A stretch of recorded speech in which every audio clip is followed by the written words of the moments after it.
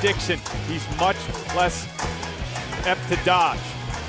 He's passing. Gelfie shooting, and Brock Gelfie has the first goal of the game. The freshman got a really strong shot. Another shot, another score. It's Matamore. Two quick ones up on the board here for Bucknell. And that Army defense has been strong, not so much, Dave. Burke, a goal for Bucknell, and what a start for Peter Burke and his Bison teammates here. Of his game that still needs to develop. Remember, he's a. Watching Alex Newsom charging in the left wing. Another for Army, and how about the Black Knights? Lester watched by Place. Here's Boyd feeding, spin, shot. Another score for Army. Mazzone in tight, quick stick, his second of the first quarter. First game was 9-8 at Michie Stadium we talked about, and Chase told us he expects another game just like that.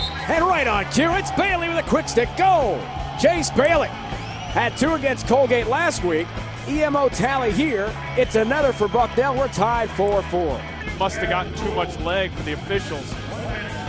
Bailey scored one already with the man up. Make it another for Bailey. A hat trick for Chase Bailey. Back to back to back goals. Here's Gelfie up top. Justin Freshman passing. Bailey has another one. Chase Bailey has got four in the game.